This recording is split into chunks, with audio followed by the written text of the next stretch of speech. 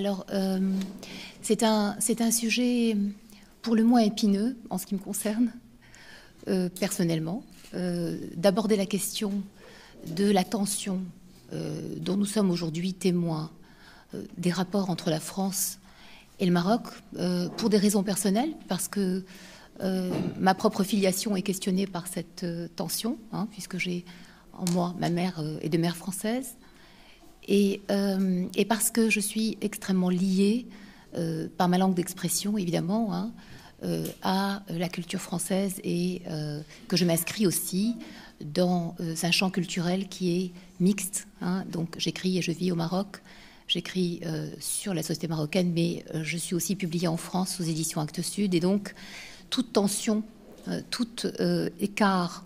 entre euh, mes appartenances est bien sûr pour moi particulièrement douloureuse. Il y a depuis l'indépendance du Maroc, en fait, une question qui se pose et qui s'est posée aussi à l'Algérie d'ailleurs, qui est la question de la langue française, de ses usages et de la manière dont elle signale l'appartenance à pas seulement à, un champ culturel, à une ère culturelle, hein, qui serait celle de la francophonie, elle-même entachée euh, de tous euh, les relents néocolonialistes, que la gestion de cette ère culturelle euh, a. Des questions qu'elle a posées en ces termes-là, en tout cas pour ceux qui y appartiennent hein, et qui refusent quelque part la manière extrêmement périphérique dont leurs travaux sont traités en France même, et puis il y a la deuxième question euh, que pose donc cette euh, langue française comme un butin de guerre, parce qu'elle est devenue dans d'autres sociétés le signe de l'appartenance euh, aux élites technocratiques, et que de fait, pendant longtemps, elle a été un des outils de distinction sociale dans la société marocaine entre ceux qui la maîtrisaient et ceux qui ne la maîtrisaient pas, et elle a fonctionné comme un capital à la fois culturel et symbolique mais aussi économique, euh, qui en fait permettait ou pas, dont la, disposition permettait ou pas euh, un positionnement euh, élitiste et élitaire. Et donc, j'ai longtemps entendu et j'ai écouté avec beaucoup d'intérêt, hein, durant mon adolescence, les débats sur l'arabisation du Maroc, la question de l'arabisation, qui en fait reposait la question de l'identité marocaine, de l'identité culturelle du Maroc, qui en réalité est multiple. Hein. Nous sommes euh, bien sûr arabophones, mais aussi amazigophones. Nous sommes euh, hispanophones, nous sommes francophones. Et il me semble que ces héritages et euh, leur multiplicité restent pour nous une richesse que nous devons préserver et dont il ne faut pas se séparer, qu'il ne faut pas abandonner. Et à ce titre, la langue française est bien, comme le disait Katsebiassine, un butin de guerre que nous pouvons faire prospérer et que nous contribuons à enrichir et à transformer. C'est pour un premier point. Pour la question euh, plus politique euh, de l'évolution des, rapports entre la France et le Maroc, j'ai envie de les réinscrire dans un contexte euh, peut-être moins politique et plus humain, plus, social, peut-être plus historique, en rappelant que nous avons en France et dans les pays de langue française une diaspora importante qui, elle aussi, vit cette double appartenance et qui, en fait, souffre des tensions politiques entre, entre les deux pays. Nous sommes aussi responsables, euh, nous le savons, hein, de ces diasporas qui continuent d'appartenir euh, par le cœur, mais aussi par les documents administratifs hein, à leur pays d'origine. Donc les tensions entre la France et le Maroc, quand elles sont d'ordre politique et qu'elles concernent effectivement de manière très implicite, non formulée mais claire, euh, la question territoriale, de l'intégrité territoriale du Maroc, elles engagent, euh, elles engagent ces tensions euh, des êtres humains par millions hein, des deux côtés de la Méditerranée et elles, elles, engagent aussi la question de la gestion de ce que nous avons en commun, à savoir l'histoire, dont fait partie aussi l'histoire coloniale, bien sûr, mais l'histoire migratoire. Et puis, elles engagent aussi la question de l'avenir aussi, de ce que nous pouvons espérer continuer de vivre ensemble,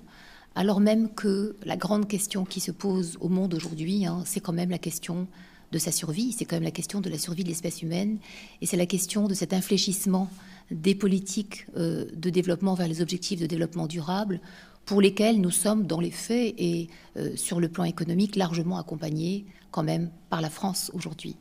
Donc il y a à la fois un enjeu de repositionnement, me semble-t-il, à la fois du Maroc et de la France. N'oubliez pas que la France, quand même, est questionnée très profondément dans son identité par le vieillissement de sa population,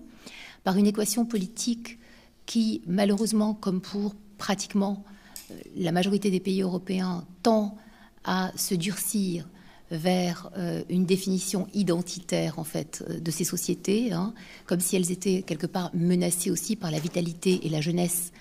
de l'Afrique. Et donc il y a un, contexte euh, du durcissement de cette euh, relation qui tient à la fois à ce qui peut être perçu comme un affaiblissement euh, politique et diplomatique de la France, et à la fois ce que nous aurions peut-être tendance et la tentation de croire comme un renforcement de notre propre positionnement politique et diplomatique avec effectivement la politique du Maroc en Afrique hein, et aussi la multiplicité des alliances que ce monde multipolaire qui se crée euh, sous nos yeux, en fait, hein, propose aux pays du Sud et leur, leur permettant aussi de s'affranchir quelque part d'une relation monolatérale, unilatérale, parfois étriquée. Donc, pour résumer, hein, il me semble que nous sommes à un croisement des chemins et que euh, le Maroc fait entendre aussi sa voix, euh, pas seulement à l'intérieur de son territoire, mais à l'extérieur de son territoire, en particulier en Afrique, où peut-être les intérêts français euh, ne sont plus ce qu'ils étaient, hein, où la présence française est contestée largement. Et il y a là une tension qui n'a peut-être pas grand-chose à voir non plus avec l'Algérie, mais peut-être davantage avec ce repositionnement du Maroc en Afrique. Et euh, il y a toujours dans une relation ancienne, euh, dans les moments de mue, en fait, quand les protagonistes change de taille, change de vêtements. Hein. Il y a toujours, bien sûr, aux entournures, des choses qui craquent, et peut-être qu'il y a là quelque chose qui va craquer, euh, et que c'est peut-être quelque chose de, mieux que d'acceptable, d'appréciable, hein, en tout cas pour le Maroc, mais aussi pour la France, que l'habit euh, paternaliste, parfois néocolonial, des fois aussi, euh, peut venir entraver aux entournures face aux enjeux euh, du monde qui se présente hein, et où nous devrons œuvrer ensemble pour atteindre en fait hein, les objectifs définis par les différentes COP, qui ne sont plus aujourd'hui des horizons d'attente, mais qui doivent devenir des urgences hein, face euh, aux urgences climatiques auxquelles nous sommes confrontés. Donc peut-être qu'il est bon que cette relation, eh bien, que nous devons accepter que cette relation soit parfois, et en ce moment, en souffrance, mais pas trop longtemps, effectivement, et pas de cette manière-là, pas en affectant les populations civiles, pas en euh, modifiant euh, les représentations intimes des territoires, en humiliant les élites euh, marocaines qui ne peuvent plus se rendre en France comme elles le faisaient spontanément pour scolariser leurs enfants, leur rendre visite et aussi pour gérer les intérêts croisés de leurs entreprises dans les deux pays, les chercheurs, les, écrivains. Il y a là quelque chose, effectivement, comme l'a dit Ali, qui inquiète, qui abîme et qui ne doit pas durer. Donc cette politique de restriction des visas, peut-être qu'il faudrait euh, la poser courageusement sur la table, hein, en peser les tenants et les aboutissants, ne pas oublier qu'il y a aussi dans la balance la question du rapatriement au Maroc de délinquants euh, classés au fichier S et que le Maroc refuse aussi de récupérer, et donc s'interroger sur ce que euh, nous pouvons faire, ce que nous devons faire aussi de ce côté-là, et effectivement réaffirmer clairement hein, ce qui aujourd'hui fait l'identité marocaine, c'est-à-dire, euh, comme l'a dit M. Achari, bien sûr, hein, euh, le Maroc est un pays largement aujourd'hui arabophone, qui est questionné par la question de l'intégrité de son territoire, qui ne souffre pas de remise en question de cette intégrité territoriale et qui est capable, dans sa totalité, de renégocier, de,